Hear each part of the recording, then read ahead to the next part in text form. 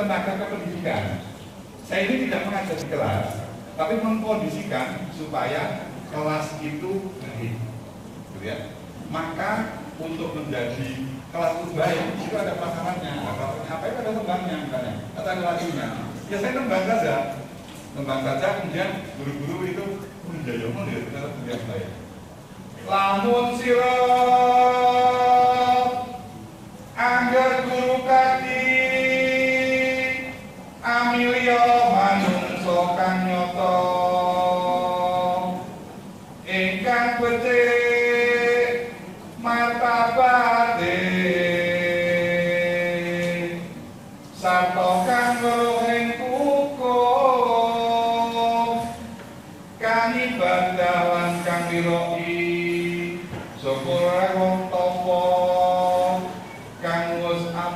어...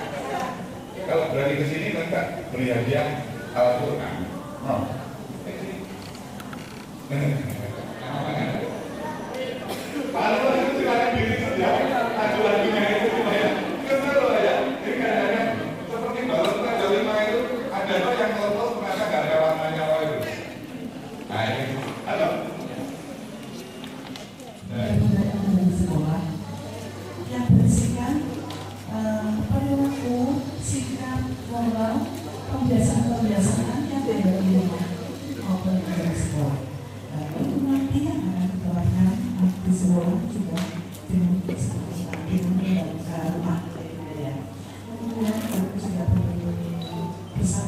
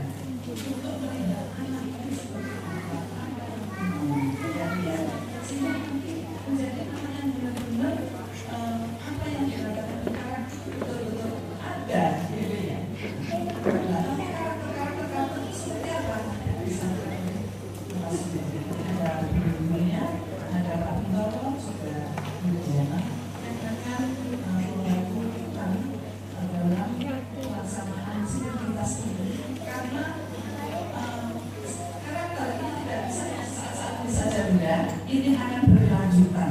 ya. jadi ada kontinuitas di dalam evaluasi dan dalam pelaksanaannya karena saat ini mungkin belum sempurna belum sesuai yang diharapkan dengan kemudian semua nanti bisa memberikan masukan ke depan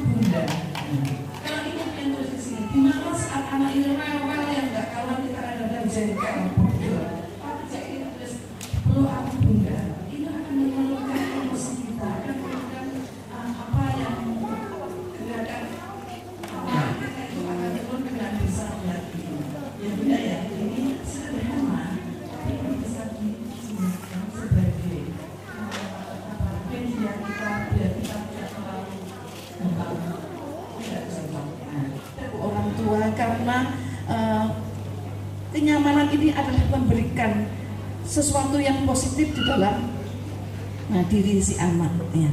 Nah, kemudian kemarin kita ada namanya genas baku ya bu ya. Kita ada genas baku itu uh, mengajak orang tua untuk membacakan buku. Walaupun sekarang sudah ada gadget sudah ada HP dongeng itu sangat membantu anak kita. Uh, kemudian kita bisa anak itu mempunyai memori yang positif terhadap kita. Dulu waktu saya gini ibu saya men- mendongengkan ini. Dan itu ternyata meresap sampai usia tua. Ya bu ya. Nah mungkin karena ini karakter kita kan membangun karakter. Karakter ada proses waktu.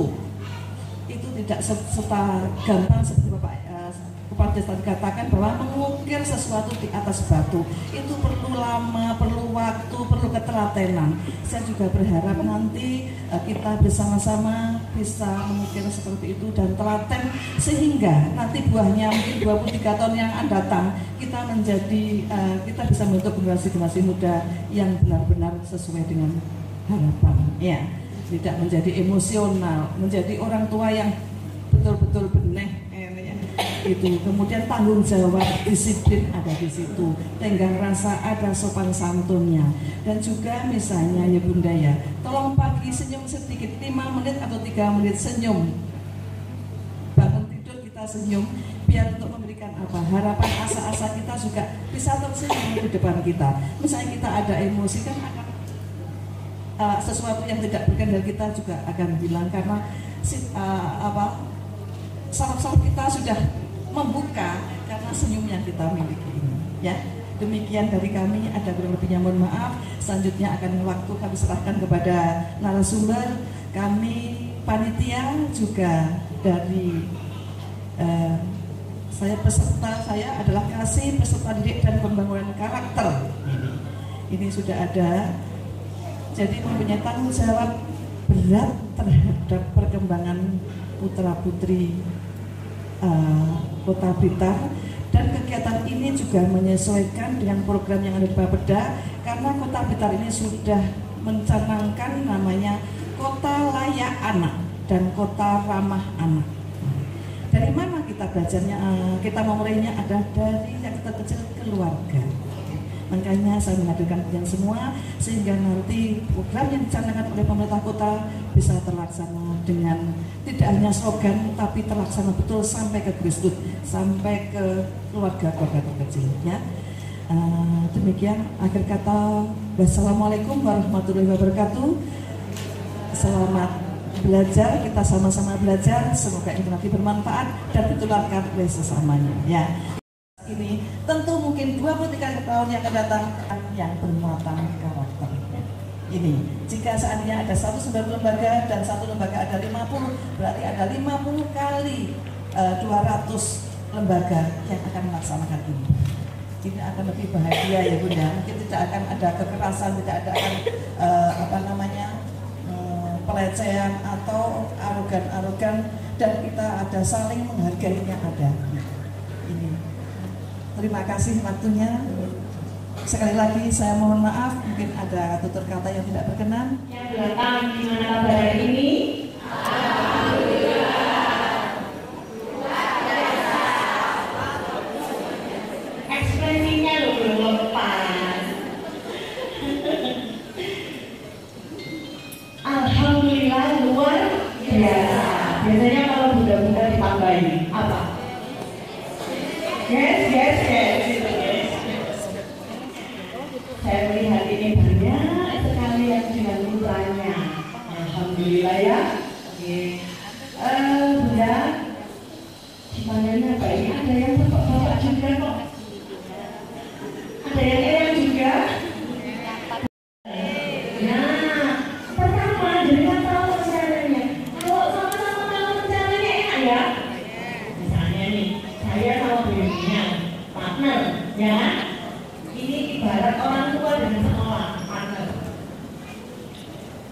Thank hmm. you.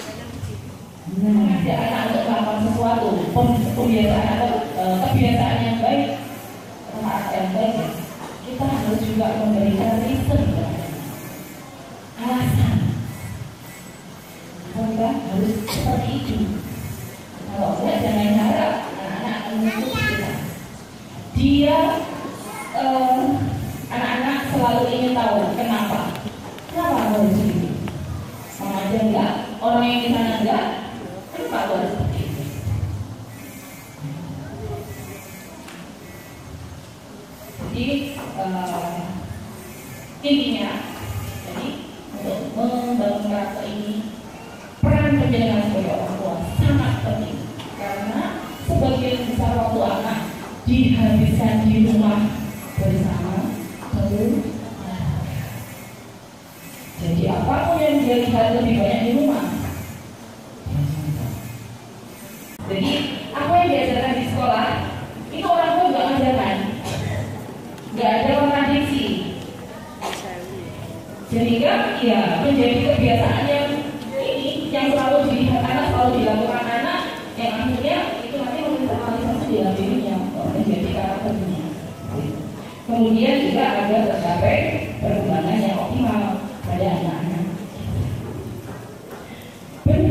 kegiatannya nanti. Untuk kegiatannya nanti. Jadi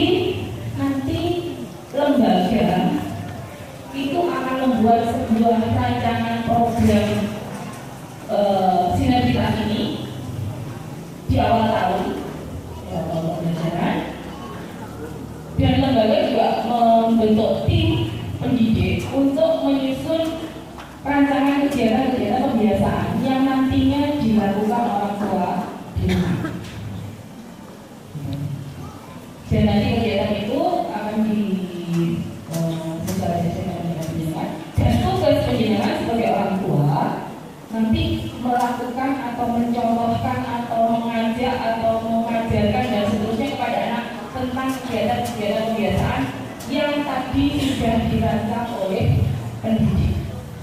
Kenapa pendidik yang membuat rancangan kegiatannya we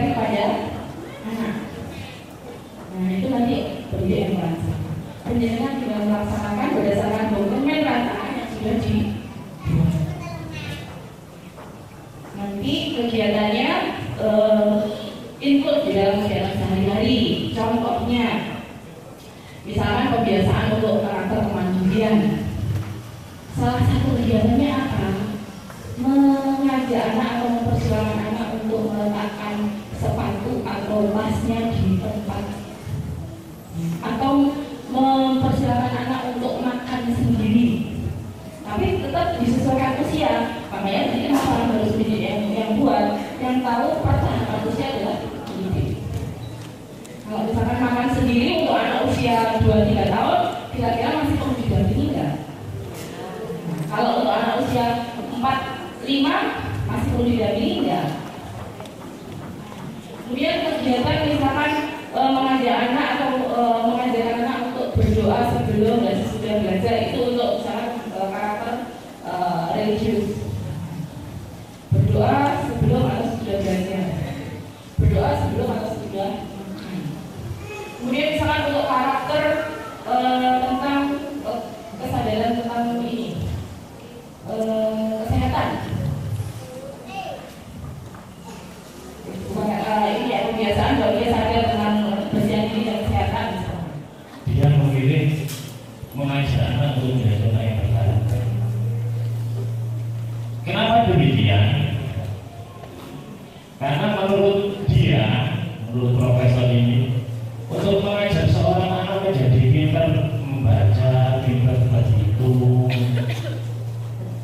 Dan pintar-pintar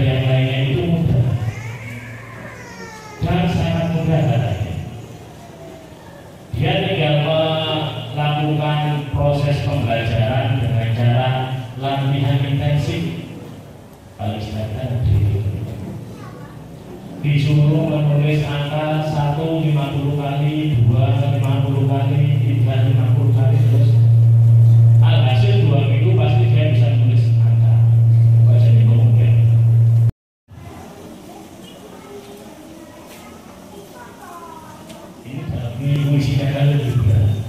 Anakmu bukan anak milikmu. Mereka putra putri kehidupan yang hidup pada dirinya.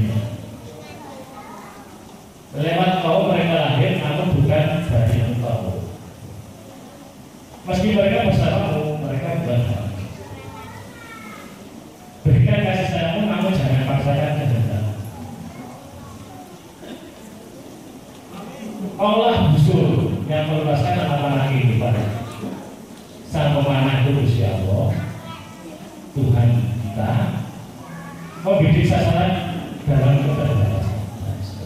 Jadi intinya kita nggak boleh menyamakan bahwa aku dulu bisa zaman dulu ya tak boleh.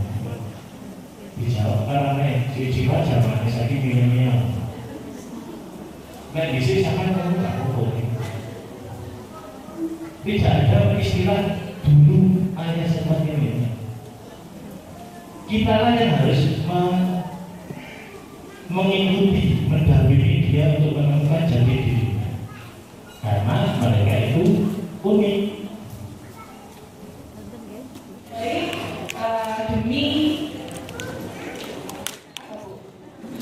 generasi bangsa kita yang berkarakter, berakhlak mulia, eh, untuk membangun bangsa yang madani. Gitu, baik. Terima kasih. Pak Bintoro ada yang mau disampaikan? Cukup? Oke. Kami bertiga eh, mengucapkan terima kasih yang sebesar-besarnya atas perhatian yang diberikan.